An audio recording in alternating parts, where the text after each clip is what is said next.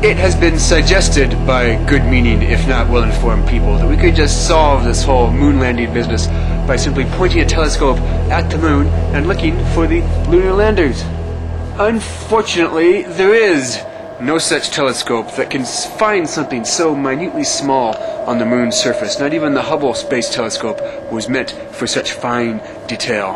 However, the imagination of the NASA engineers have left us a legacy and a solution using nothing so complicated as this.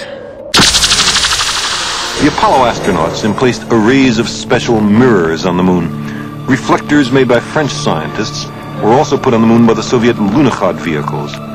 When a laser beam from Earth strikes one of these mirrors and bounces back, the round-trip travel time can be measured. At the McDonald Observatory of the University of Texas, a laser beam is prepared for firing at the reflectors on the moon, 380,000 kilometers away. Dr. Carl Sagan is obviously proud of these reflectors, and he should be, for when you think about it, this is extraordinary. A laser is shot from Earth and makes a round trip of over half a million miles. It can be targeted from any observatory on the planet equipped with one. Most especially, observatories in Hawaii, Australia, Greece, and France still use the reflectors to this very day, 25 years after their placement.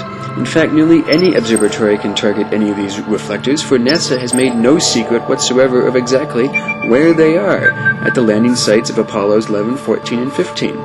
These reflectors have led to discoveries flat out impossible without them. We've discovered that the moon is drifting away from the Earth at a speed measured in feet per century, that the moon has a liquid magma core just like the Earth does, and we confirmed that the moon was indeed struck by a huge asteroid 800 years ago, as recorded by Canterbury monks in the 11th century.